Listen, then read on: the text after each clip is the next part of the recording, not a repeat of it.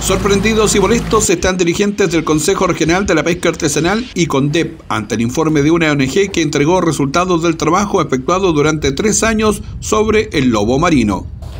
Prácticamente lo que están diciendo esta eh, consultora, que es de la Universidad de Concepción, nos está diciendo de que prácticamente el, lobo marino no le hace ningún daño a la pesca artesanal.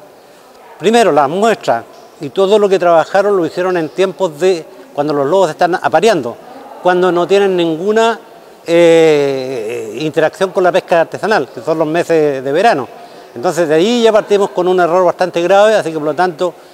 hoy día nos hemos dado el trabajo de contestarle a esta y también informarle a la Sociedad de Pesca que ese trabajo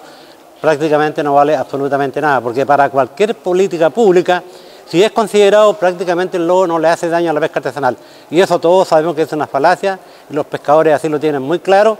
ya que prácticamente en oportunidades hasta pierden hasta el 100% de sus materiales, o sea, es un profundo daño. El informe elaborado por la consultora estaba relacionado con buscar una solución al problema denunciado por la pesca artesanal y para lo cual, añaden los dirigentes, desafortunadamente no se consideró la opinión de quienes trabajan en el mar.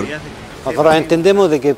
por lo, que Chile ha firmado a nivel internacional, no podemos cazarlo. Pero nos hemos tocado la sorpresa de que prácticamente este trabajo de tres años prácticamente no vale absolutamente nada, porque no considera el daño profundo que le causa el lobo marino a la pesca artesanal,